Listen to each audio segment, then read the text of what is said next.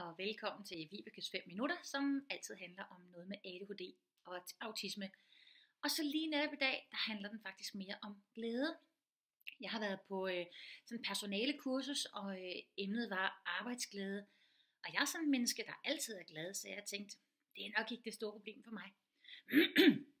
øh, taleren der, han, han, gav os, øh, han startede med at give os en opgave med, at vi skulle finde, jeg tror det var 30 ting, som gjorde os glade som ikke vedrørte andre. Så tænkte jeg, det er jo nemt. Det er jo nemt, altså. Og så begyndte jeg på min liste. Øh, vi skulle gøre det to og to, og, og den ene ting efter den anden, som jeg sagde til min makker, så sagde nej, det dur jo ikke, fordi det er jo ikke sammen med andre. Øhm, og det var rigtigt. Jeg, jeg, jeg havde sådan noget med, at spille ludo med familien, det gør mig glad. Men det er jo sammen med andre. Nå ja. At, øh, at når hele familien sidder og ser film sammen i sofaen, det gør mig glad. Når jeg sidder sammen med mine børn, det gør mig glad. Jamen, det er jo sammen med andre.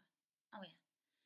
Øhm, at, at gå en lang tur i skoven med, med mine børn og min mand, det gør mig glad. Jamen, det er jo sammen med andre. Den ene ting efter den anden, jeg fandt, det var noget, jeg gjorde sammen med min familie.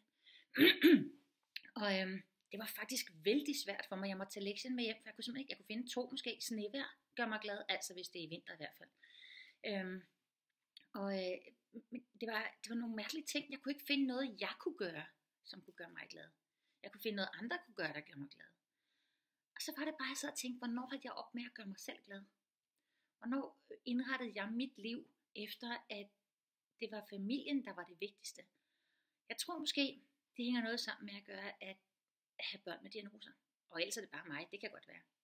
Men jeg tror, at når man har flere børn, og nogen, en eller flere har diagnoser, så er man på på en anden måde. Øhm, og du ved godt, at det der med alene tid at tage i byen, bare dig alene en uge, det har nogle ret store konsekvenser. Det koster ret meget i familien. Sådan har jeg det i hvert fald. Så det har jeg nedprioriteret. Eller bortskaffet nærmest.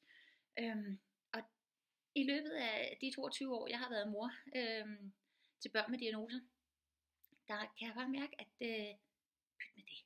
Det er lige meget. Altså hvis børnene er glade, så er alting godt.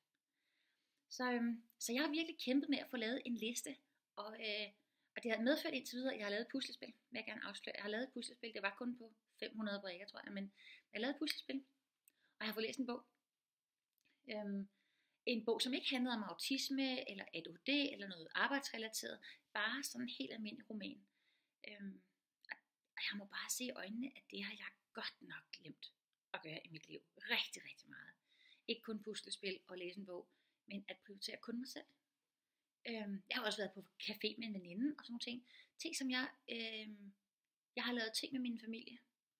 Og så har jeg virkelig, virkelig mm, glemt alt det, der kunne gøre mig glad. Så jeg vil vildt anbefale alle, der lytter, til at sætte sig ned og sige, hvad gør mig glad? Og hvornår har jeg sidst gjort det? Og hvordan kan jeg få mere det ind i mit liv? Hvad vil jeg, hvad vil jeg have gjort, inden jeg kigger på den her seddel igen om en uge? Øhm, og jeg tænker faktisk, måske man også kan gøre det i sin familie. Øhm, hvis man nu ikke er så meget sammen i familien, som vi er, hvordan kan man måske prioritere det? Jeg kan huske, at, øh, at vores børn engang havde øh, sat sædler op ude på køkkenskabet, med hvad de rigtig godt kunne tænke sig at gøre med mor og eller far. Øhm, og det kunne godt være, at der stod øh, svømmehal med mor, og så stod der måske bonbonland med far, eller, eller biograf med far, et eller andet. Og så inden der var gået en måned, så skulle vi have opfyldt en af deres ønsker hver. Øhm, og det er jo svært, hvis de skriver Gran Canaria, men, men, men man må godt skrive alting på. Og, øh, og det der med at gå ind og blive opmærksom på, hvad er det egentlig, der gør mig glad? Hvad er det egentlig, jeg godt kunne tænke mig? Hvad kunne jeg egentlig se frem til? At gøre enten alene eller sammen med andre. Det tror jeg er vildt værdifuldt.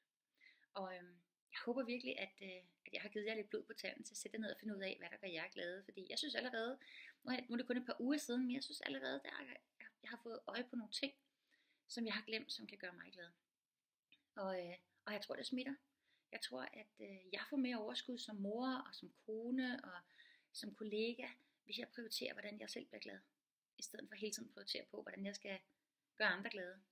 Og måske er det kun mig, der har det her mærkelige problem, så har jeg bare lige været usædvanlig åben og ærlig nu. Og måske der er en enkelt, der kan bruge det derude, og så er alt jo godt. Så hej for mig. Husk at være glad.